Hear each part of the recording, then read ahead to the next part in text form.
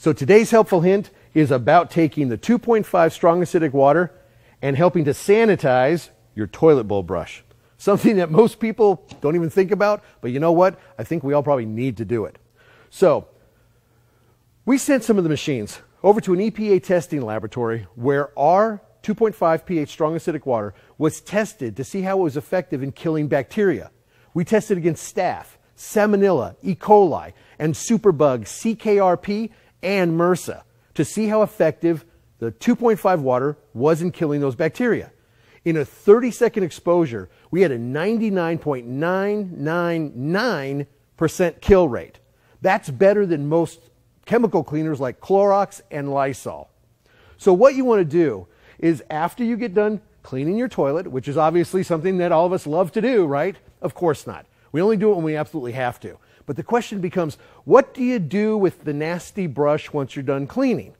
Because all you really can do is kind of like tap it off into the bowl and then you put it back into that little holder. Well, think about what's festering in that little holder.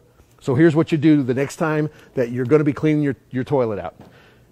Do what you need to do, and then put it into the holder and simply take some of the 2.5 water and fill it up, covering the entire brush, going all the way to the top of the holder. And whoop, all you need to do is let that sit there for 30 to 60 seconds. Don't do anything else with it. Let it sit there. The water is taking care of business. It's killing any bacteria that might grow if you weren't going through this process and procedure. When you're done, simply take the whole thing and dump it into the toilet, and now your brush is good, sanitized, ready to go, and is not going to be harboring a bunch of harmful bacteria that might get picked up by one of the kids and be used in a sword fight. So this is just one more way that you can use the 2.5 water to be able to help keep you and your family safe.